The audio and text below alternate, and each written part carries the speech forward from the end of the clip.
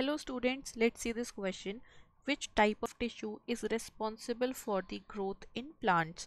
तो बच्चों आपको बताना है कि ऐसा कौन सा टिश्यू होता है जो कि प्लांट्स में ग्रोथ के लिए रिस्पॉन्सिबल होता है तो बच्चों सबसे पहली बात आती है जो मेजर टिश्यू होता है जो कि ग्रोथ करवाता है वो कहलाता है meristematic tissue in the plants that is meristematic tissue अब बच्चों मरिस्टमैटिक टिश्यू जो होता है वो हमारा थ्री टाइप्स का होता है कौन कौन सा होता है? सबसे पहले होता है हमारा एपिकल मरिस्टम, नेक्स्ट होता है इंटर कैलरी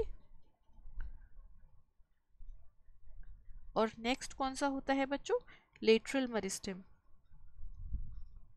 तो जो हमारा एपिकल मरिस्टम होता है, वो कहाँ प्रेजेंट होता है? एपेक्स पे, कहाँ रूट एपेक्स या फिर शूट एपेक्स पे। और ये क्या करवाता है? ये लेंथ बढ़ाता है, या तो स्टेम की लेंथ बढ़ाएगा या फिर रूट की लेंथ बढ़ाता है। इंटर कैलोरी की बात करें तो इंटर कैलोरी कहाँ होता है? इंटर कैलोरी मेरिस्टम होता है बच्चों नोट्स में और इंटर नोट्स में। तो ये क्या करता है? ये दोनों डायरेक्शन में ग्रोथ करवाता है। ठीक है? थर्ड टाइप आता है हमारा लेटरल मरिस्टम का। लेटरल मरिस्टम प्लांट की ग्रोथ करवाता है।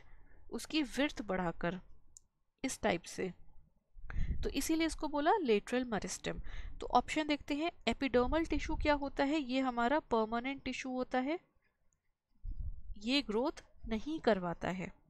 तो ये ऑप्शन रॉन्ग हो जाएगा। नेक्स्ट क्या है? मरिस्टमैटिक टिश्यू तो ये ऑप्शन हमारा करेक्ट हो जाएगा। फिर बात आती है वास्कुलर टिश्यू वास्कुलर टिश्यू भी क्या होता है? परमानेंट कॉम्प्लेक्स परमानेंट टिश्यू होता है वास्कुलर टिश्यू वैस्कुलर टिश्यू में कौन आता है? जाइलम एंड फ्लोएम तो ये ऑप्शन भी रॉन्ग हो जाएगा। नेक्स्ट है पैरनकाइमा टिश्यू ये भी रॉन्ग हो जाएगा क्योंकि ये भी परमानेंट टिश्यू होता है। तो हमारा ऑप्शन करेक्ट हो जाएगा B meristematic tissue I hope this is clear thank you